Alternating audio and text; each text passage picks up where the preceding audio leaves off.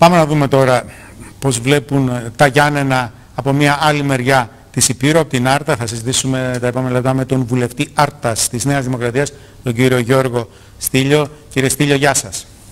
Καλησπέρα κύριε Ντόκα, καλησπέρα σε όλους τους uh, τηλεθεατές του ITV. Λοιπόν, τοπικό lockdown εδώ και λίγες ώρες ανακοινώθηκε για το νομό Ιωαννίνων, το οποίο θα ισχύσει βέβαια από το πρωί της ερχόμενης Πέμπτης. Έχουμε πολλά κρούσματα, έχουμε κρούσματα σε επιχειρήσεις, έχουμε πολλά κρούσματα πολλές συνεχόμενες μέρες στα Γιάννα, όχι όμως στην Άρτα. Η Άρτα σήμερα έχει δύο κρούσματα, επαναλαμβάνω σήμερα τα Γιάννα έχουν 21 κρούσματα, δύο η Άρτα, τέσσερα η Θεσπρωτεία. Η Άρτα το προηγούμενο διάστημα πολλές πολλές μέρες δεν είχε καθόλου ε, κρούσματα, σήμερα έχει δύο κρούσματα, έχει χαμηλά, στο επίπεδο 2 εκεί στην Άρτα, κύριε Στήλιο, έτσι; Ε, α, ακούστε, ε, το έχουμε ξαναπεί. Βρισκόμαστε στην ε, δεύτερη φάση έξαρσης του κορονοϊού, του, της ασθένειας COVID-19. Θέλει πολύ μεγάλη και πολύ ιδιαίτερη προσοχή από όλους, διότι ο κορονοϊός ακούγεται μικρός, αλλά υπάρχει παντού και είναι ένας μεγάλος εχθρός και ένας μεγάλος αντίπαλός μας. Είναι ένας α, α, αόρατος εχθρός, ε, που δημιουργεί πολλά και μεγάλα προβλήματα. Μοναδική μας έτσι προστασία και η μεγαλύτερη και πιο ισχυρή πάνω απ' όλα είναι η δική μας ατομική ευθύνη και η ατομική προσοχή. Η συνείδηση όπως είπε σήμερα ο Τσιόδρας. Η συνείδηση, τώρα μιλάει για συνείδηση ο Σωτήρης Τσιόδρας, ο, ο, ο επιστήμονας ο Σωτήρης που έχει ευρία απήχηση στον κόσμο, στις μεγάλες πλειοψηφίες.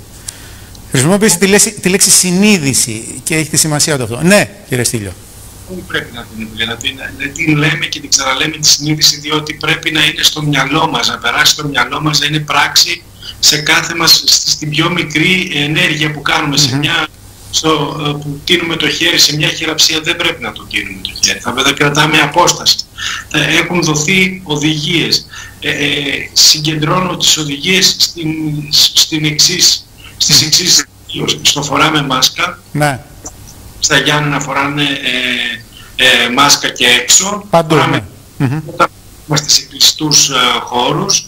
Για μας δεν ισχύει αυτό στην Γιατί επαναλαμβάνεται στο επίπεδο 2, ναι. Φοράμε μάσκα λοιπόν και δεύτερο κρατάμε αποστάσεις. Έτσι. Αυτή είναι, αυτές είναι οι δύο οδηγίες και επανερχόμαστε σε αυτά που λέγαμε και πιο παλιά. Αποστάσεις, αποστάσεις που λέτε κρατάτε από τους Γιαννιώτες ε, τις τελευταίες μέρες πάντα προσπαθούμε να κρατήσουμε για νιώθοντες, διότι ε, ε, ε, Χρειάζονται αποστάσεις από τους γεννιόντες αυτές τις μέρες, μεγαλύτερες αποστάσεις. Κύριε Στήλιο, να, δούμε τα πράγματα και από μια πιο χιουμοριστική πλευρά. Μας χρειάζεται χιούμορ γιατί είμαστε κουρασμένοι όλοι ψυχολογικά και οι Γιαννιώτες και οι Αρτινοί, όλοι οι Έλληνες, όλοι οι κάτοικοι του πλανήτη έχουμε κουραστεί ψυχολογικά από όλο αυτό, αλλά χρειάζονται μέτρα όπως πολύ σωστά λέτε, μάσκες, αποστάσεις.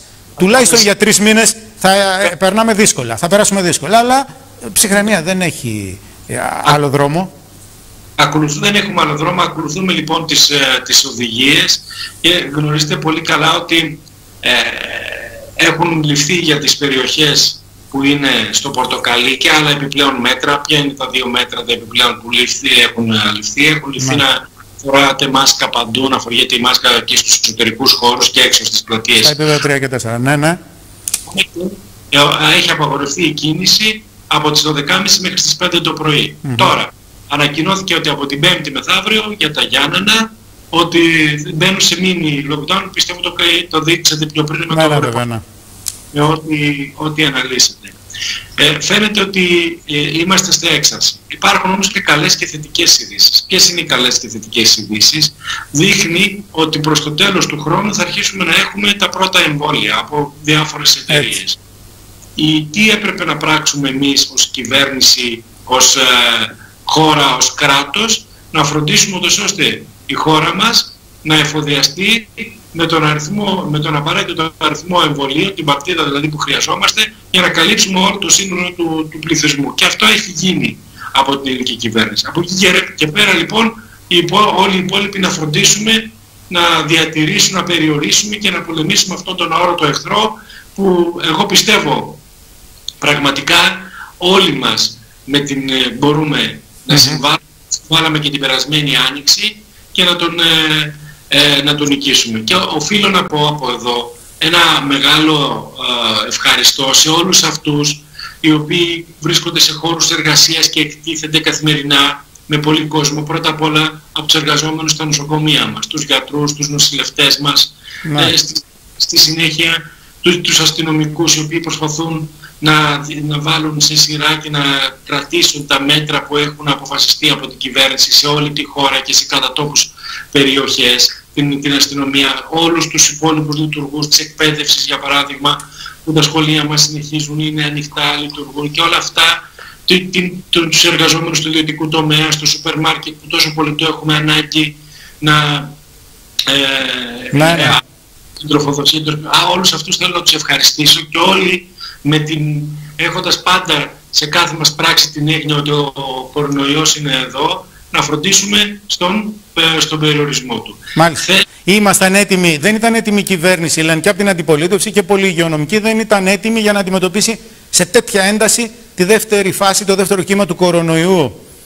Θα μπορούσαμε να ετοιμαστούμε περισσότερο. Μαγικά ραβδιά δεν υπάρχουν. Θα μπορούσαμε να είμαστε πιο έτοιμοι, κύριε Βουλευτή της Νέας Δημοκρατίας.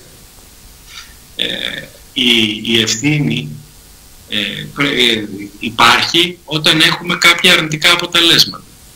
Αυτή τη στιγμή δεν έχουμε αρνητικά αποτελέσματα, ίσα ίσα έχουμε καλές ειδήσεις. Ποιες είναι οι καλές ειδήσεις; Έχουν διπλασιαστεί οι μονάδες συντατικής θεραπείας. Από 500 που ήταν, 550 που ήταν, έχουμε πάει πάνω από 1100. Και γίνεται μια συνεχής προσπάθεια από την κυβέρνηση και από το Υπουργείο Υγείας. Χθες ήμουν με τον αρμόδιο Υπουργό Υγείας στο γραφείο του και συζητούσαμε και για την ΑΡΤ εδώ πέρα, να φτάσουμε τον ευρωπαϊκό μέσο όρο. Αυτή είναι η, η δουλειά που γίνεται από την κυβέρνηση. Τι άλλο έχει συμβεί; Ε, έχει συμβεί ε, στα ποσοστά η Ελλάδα αυτή τη στιγμή βρίσκεται στα χαμηλότερα σε σχέση με όλες τις υπόλοιπες ευρωπαϊκές χώρες. Ε, είναι μαζί με τη Γερμανία και τις σκανδιναβικές και τις βαλτικές χώρες στο, ε, στο επίπεδο 1 όταν σε άλλες ευρωπαϊκές χώρες έχουμε ε, μαζικά ε, ναι, ναι. κρούσματα τα οποία εμφανίζονται. Συγκριτικά είναι πολύ καλύτερη κατάσταση στην Ελλάδα μέχρι αυτή τη στιγμή είναι έτσι. Αυτό είναι έτσι. Τι άλλο επίσης συμβαίνει που ήταν ευθύνη της κυβέρνησης και το έχει πράξει σωστά και ορθά; Να έχουμε πολλά τεστ. Και τα πολλά τεστ είναι αυτά τα οποία... Άρα ήμασταν επαρκώς έτοιμοι, λέτε εσείς. Ήμασταν επαρκώς έτοιμοι για την ένταση του δεύτερου κύματος. Η κατάσταση λοιπόν αυτή τη στιγμή την διαχειρίζεται η κυβέρνηση, αντέχει το σύστημα, έχει ακόμα αντοχές μεγάλες να, ε, να ε, διαχειριστεί και πιο πολλά κρούσματα και πιο πολλούς διαδεδεσολληνωμένους και, και θέλουμε όμως να, να φτάσουμε στα όρια μας. Έχουμε φροντίσει να υπάρχουν παντού μάσκες, έχουμε φροντίσει να υπάρχουν παντού αντισηπτικά, δεν έχουμε λήψεις στην αγορά. Άρα λοιπόν, εάν η αντιπολίτευση θέλει να βοηθήσει τον τόπο, θέλει να βοηθήσει την κοινωνία, θέλει να βοηθήσει τους συμπολίτες μας, οφείλει να κάνει μια αντιπολίτευση η οποία να είναι δημιουργική, συνθετική και να κάνει κριτική και να υποδείξει λύσεις. Κριτική, αόριστη, Μάλιστα, μάλιστα. Το ακούω, αξιολογείται κύριε Βουλευτή. Ε, πάμε, πάμε, πάμε πιο γρήγορα, πάμε να αλλάξουμε θέμα και πάμε στα ελληνοτουρκικά. Όπως εξελίσσονται τα πράγματα γίνονται πιο επικίνδυνα ή ε, έχουμε λιγότερες πιθανότητες ενός πολεμικού επεισοδίου στο Αιγαίο. Όπως βλέπετε να εξελίσσονται τα πράγματα. Ένα σχόλιο θα ήθελα για την επίσκεψη Λαυρόφ, αλλά και για την έντονη κόντρα Ερντογάν Μακρόν, για αυτά που έχει πει, τα ανεκδιήγητα, τα απαράδεκτα που έχει πει ο Ταγί Περντογάν για τον Μακρόν. Πολύ σύντομα. Πολύ σύντομα. Ε, είναι γεγονός ότι ε, στην νοτιοανατολική Μεσόγειο ζούμε μια ταραγμένη περίοδο, μια ταραγμένη εποχή. Και αυτό έχει να κάνει κυρίως με τις ε, προκλητικές ε, ενέργειες οι οποίες γίνονται από την γείτονα, γείτονα χώρα. Λοιπόν, εκτιμώ ότι δεν θα γίνει πόλεμος. Εκτιμώ ότι δεν θα, δεν θα ανοίξει άλλο ένα μέτωπο η Τουρκία και με την, ε, με την Ελλάδα. Λοιπόν, ε, από εκεί και πέρα τι έχει καταφέρει η σημερινή κυβέρνηση; Έχει καταφέρει ένα θέμα το οποίο ε, αφορούσε κυρίως τις δύο χώρες να γίνει θέμα το οποίο ε, να έχει συζητηθεί στην Ευρωπαϊκή Ένωση, στη Σύνοδο Κορυφής και η Σύνοδος Κορυφής να έχει πει ότι αν συνεχιστεί μέχρι τα Χριστούγεννα η συγκεκριμένη ε, προκλητική και η συμπεριφορά της Τουρκίας, τότε η Ευρωπαϊκή Ένωση θα λάβει κυρώσεις σε σχέση με την Τουρκία. Έχουμε καταφέρει λοιπόν αυτό το θέμα να το αναδείξουμε στους, σε ευρωπαϊκό ε, ζήτημα, ευρωπαϊκό θέμα. Έχουμε καταφέρει να κερδίσουμε την υποστήριξη από τον συμμάχο μας στην Ευρωπαϊκή Ένωση και έχουμε καταφέρει και η Αμερική, εκεί που κρατούσε την πολιτική των ίσων αποστάσεων ε, για δύο χώρες που είναι μέλη του ΝΑΤΟ για την Ελλάδα και την Τουρκία, να σταματήσει η, η, η γραμμή των ίσων και με ανακοίνωση του State Department που έγινε πριν από 10 μέρες, λοιπόν, να καταδικάσει τις συνεχιζόμενες ναύτεξ, οι οποίες εκδίδει η Τουρκία και έχει φτάσει με το προκλητικό, ε, την προκλητική ενέργεια, να πει ότι θα κάνει και αύριο την ε, ημέρα της εθνικής επαιτίου, την 28 Οκτωβρίου, ναύτεξ ε, και θα κάνει ασκήσεις σε περιοχές. Το πήρε πίσω τελικά αυτό, το πήρε πίσω αυτό, έτσι, ναι της ε, διπλωματίας δείχνει μια νίκη των ε, διεθνών ε, πιέσεων οι από την τακτική την οποία ακολουθεί επιτυχημένα κατά τη γνώμη μου η ελληνική κυβέρνηση και γι' αυτό η Έλληνες... Αυτά. Αξιολογούνται από τον κόσμο κύριε Στήλιο και μέσα σε όλα αυτά έχουμε το νέο πτωχευτικό κώδικα για να πάμε σε κάτι άλλο. εδώ δεν υπάρχουν, είναι ένα πολύ δύσκολο θέμα, το έχω ξαναπεί, δεν υπάρχουν μαγικές λύσεις, είναι ένα ε, δύσκολο θέμα το θέμα των κόκκινων δανείων.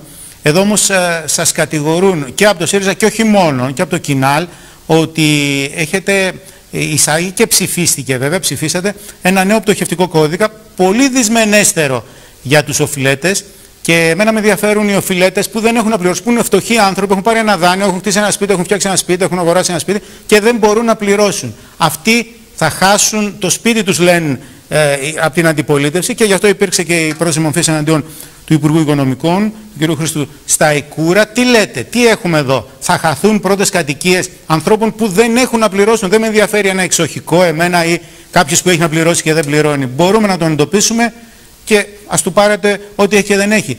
Ένας φτωχός άνθρωπος όμως με το νέο πτωχευτικό κώδικα κινδυνεύει, θα χάσει την πρώτη κατοικία; Ακούστε, ξεκινώ από το τελευταίο, που το, το θεωρούμε και πολύ ε, σημαντικό. Όλες οι, οι, ευάλωτες ομάδες, οι ευάλωτες οικονομικά ομάδες της, της χώρας μας του δίνεται μία ε, δυνατότητα να διατηρήσουν το σπίτι τους για μία περίοδο 12 ετών έτσι, πριν φτάσουν σε αυτό που λέτε να χάσουν την, ε, την, πρώτη, την πρώτη κατοικία τους. Και αυτό γίνεται με τον συγκεκριμένο ε, νομοσχέδιο που ψηφίστηκε μόλις ε, προχθές. Δίνονται, υπάρχουν μια σειρά από άλλες ρυθμίσεις, οι οποίες είναι θετικές ρυθμίσεις. Λοιπόν, και αυτό το καταλαβαίνουμε γιατί, γιατί το, καταλα... το αντιλαμβάνεται η κοινωνία και δεν έχει αντιδράσει στους συγκεκριμένους νόμους. Μπορούν προσπαθούν να φωνάξουν τα κόμματα της αντιπολίτευσης για να κερδίσουν ψήφους πάνω, πού πάνω, πάνω στο, στο, στο, παίζοντας σε ένα θέμα που, που είναι πάρα πολύ ευαίσθητο, πιο επιτόχευση. Το, το, να είμαι εγκλωβισμένος, το να μην μπορώ να έχω καμία δραστηριότητα. Προσπαθούν λοιπόν πάνω στην αγωνία και στο στίγμα εντός εισαγωγικών που μένει σε πολλές οικογένειες επιχειρηματίες οι οποίοι είχαν μια άτυχη ε, εξέλιξη στις δραστηριότητες τους την, ε, την επιχειρηματική, πάνω να, να κάνουν ψηφοθυρία. Πώς Θα χαθούν πρώτες κατοικίες κύριε Στήλιο. Να αφήσουμε την αντιπολίτευση που κάνει τη δουλειά που κάνει σε κάθε περίπτωση. Θα χαθούν πρώτες κατοικίες ανθρώπων που δεν έχουν, φτωχών ανθρώπων που δεν έχουν να πληρώσουν. Αυτό είναι το ερώτημα. Αυτό με ενδιαφέρει. Σας απάντησα το εξής. Για μία περίοδο 12 ετών δίνεται η δυνατότητα να μείνουν στο σπίτι τους. Χωρίς να προσμετρώνται όμως τα ενίκια ε, στην, ε, στο, στο, στο δάνειο, στην αποπληρωμή του δανείου. Ακούστε, τους δίνεται επιδότηση, τους δίνεται επιπλέον επιδότηση για το σπίτι τους, που μιλάμε για την πρώτη ναι. κατοικία, γιατί έχετε ανοίξει πάρα πολλά θέματα Αλήθεια είναι αυτό. Αλήθεια είναι αυτό και δεν υπάρχουν, ξαναλέω, μαγικές λύσεις. Είναι ένα θέμα που σμπρώχνοντας η προηγούμενη κυβέρνηση, η κυβέρνηση του ΣΥΡΙΖΑ, το έστειλε στην επόμενη κυβέρνηση. Πού είστε εσείς. Έτσι. Και κάποια, στιγμή, και κάποια στιγμή, επειδή η πίεση είναι μεγάλη και από τις τράπεζες, έτσι λειτουργεί το σύστημα. Ε, εντάξει, αυτό είναι το σύστημα. Και από τις τράπεζες υπάρχουν πιέσεις και από αλλού. Και έπρεπε να δοθούν, πρέπει να δοθούν κάποιες λύσεις. Όμως, εδώ έχουμε να κάνουμε με την πρώτη κατοικία φτωχών ανθρώπων. Όνειρο ζωής είναι για τον νέο Έλληνα ένα σπίτι, Ξέρω ότι έχετε ιδιαίτερη ευαισθησία σε αυτό. Πείτε μου. ξέρετε ότι η άρση προστασίας της πρώτης κατοικίας έγινε με νόμο τον οποίο ψήφισε η κυβέρνηση του ΣΥΡΙΖΑ. Έγινε μάλιστα με δύο νόμους τους οποίους ψήφισε η κυβέρνηση του ΣΥΡΙΖΑ το 2015 και το 2019. Το είπα και στην ομιλία μου στη Βουλή. Άρα η άρση της προστασίας της πρώτης κατοικίας και η κατήργηση στην ουσία του νόμου Κατσέλη, το είπε και ο Πρωθυπουργός στην ομιλία του, έγινε από δύο νόμους της κυβέρνησης ΣΥΡΙΖΑ. Η κυβέρνηση ΣΥΡΙΖΑ είναι αυτή η οποία έφερε τους ηλεκτρονικούς πληστηριασμούς. Και μάλιστα ο πρώην Υπουργός Οικονομικών, ο κύριος Τσακαλώτος, είναι αυτός που έλεγε ότι οι ηλεκτρονικοί πληστηριασμοί ε, γίνονται για να στηριχθούν οι τράπεζες και για καλό ε, σκοπό. Λοιπόν, άρα, τι κάνει η σημερινή κυβέρνηση; Δίνει τη δυνατότητα ναι. οι οποίοι δεν μπορούν να κρατήσουν το σπίτι τους και αναγκαστικά θα βλέπαν ε, να βγαίνει σε πληστηριασμό στην οθόνη του, του υπολογιστή για μία δωδεκαετία να μπορέσουν να μείνουν στο σπίτι τους, τους δίνει επιδότηση σε αυτούς και τους δίνει τη δυνατότητα στο τέλος αυτής της δωδεκαετίας να αποπληρώσουν το υπόλοιπο του δανείου το οποίο έμενε. Δηλαδή πόσο είναι το δάνειο μου που μένει σήμερα που δεν να το αποπληρώσω, αν μπορώ να το στο σπίτι μου. Αλλά να δούμε πώς θα εξελιχθούν τα πράγματα. Να δούμε πώς θα εξελιχθούν τα πράγματα σε ένα πολύ πολύ δύσκολο και κοινωνικά ευαίσθητο θέμα. Κλείνοντας όμως, έχουμε μια συζήτηση πιο συνοπτική. Μας πιέζει και το τοπικό lockdown εδώ και ο χρόνος που διαθέσαμε γι' αυτό φυσιολογικά. Ε, η πρωτογενής παραγωγή εκεί στην Άρτα, το φθινόπωρο του κορονοϊού, πώς πήγαινε, γιατί η Άρτα είναι ένας παραγωγικός νομός, πρωτογενός παραγωγικός νομός. Πώς πηγαίνει η πρωτογενής παραγωγή, κύριε Στήλιο, και με αυτό θα κλείσουμε. Ε, αφήνω τον, ε, τον εξοδικαστικό να ξέρετε ότι ο εξοδικαστικός δίνει, δίνει μια δεύτερη ευκαιρία. Λοιπόν, θα έχουμε την ευκαιρία να τα ξαναπούμε αυτά, ναι. Πείτε μου για την παραγωγή για να κλείσουμε. Και σε αυτούς οι οποίοι δεν, δεν μπορούν να κρατήσουν τη δουλειά τους. Του δίνει τη δυνατότητα να μην είναι αιώνια εγκλωβισμένοι. Διότι η αντιπολίτευση δεν προτείνει κάποια λύση. Σε αφήνει να είσαι όμοιρος, να χάσεις το μαγαζί σου, τη δουλειά σου, να μην μπορείς να εργαστείς πουθενά, να μην μείνεις μόνο με ένα κοινωνικό στίγμα. Λοιπόν, σε σχέση με τα αγροτικά μας προϊόντα. Ξέρετε ότι εμάς εδώ τα προϊόντα μας είναι η ελιά, τα εσπεριδοειδή και το ακτινίδιο. Δυστυχώς ξεκινάω με τα αρνητικά. Η ελιά, οι τιμές με την οποία αγοράζεται η ελιά είναι ε, σχεδόν στο κόστος παραγωγής των παραγωγής. Πάει Έχουμε καλά μια... το ακτινίδιο όμως μαθαίνω, έτσι. Έχουμε μια καλή ανακοίνωση από το Υπουργείο, διότι σήμερα βγήκε το σχετικό ΦΕΚ, κυκλοφορεί στα αγροτικά site που θα δοθεί λόγω της πανδημίας και λόγω του COVID ένα ποσό της τάξης των 126 εκατομμυρίων ευρώ για την λαδοελιά, για την ελιά για την, ε, ε, για την Καλαμόρο, οπότε από εκεί οι ηλιοπαραγωγοί θα καλύψουν ένα μέρος από την ζημιά που έχει γίνει. Βλέπουμε καλές τάσεις στο ακτινίδιο, είναι θετικά τα μηνύματα για την τιμή αγοράς του ακτινιδίου από τους εμπόρους και από την, ε, την αγορά και νομίζω ότι έτσι θα ακολουθήσουν το ακτινίδιο και το μανταρίνι και τα υπόλοιπα τα εσπεριδοειδή δηλαδή. Άρα όταν τραβήξουμε την, ε, την γραμμή, τα αποτελέσματα για τους παραγωγούς μας, νομίζω η, η σούμα, δηλαδή το ποσό το οποίο θα μένει, ε, θα είναι θετικό με τους ελαιοπαραγωγούς αυτή τη στιγμή. Έχω κάνει και σχετική αναφορά στο, στο Υπουργείο. Αλλά η αγορά είναι αυτή η οποία καθορίζει τις τιμές. Υπήρξε πολύ μεγάλη παραγωγή ελιάς. Ε, έχει πέσει κατανάλωση. Και θα υπάρξει κάποια στήριξη λέτε θα υπάρξει μια μικρή στήριξη.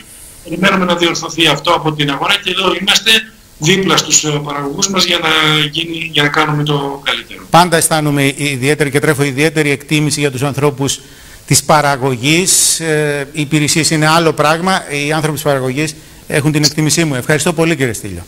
Είστε καλά Τώρα κυρίες και κύριοι επιστρέφουμε στον κορονοϊό. Ελέγχεται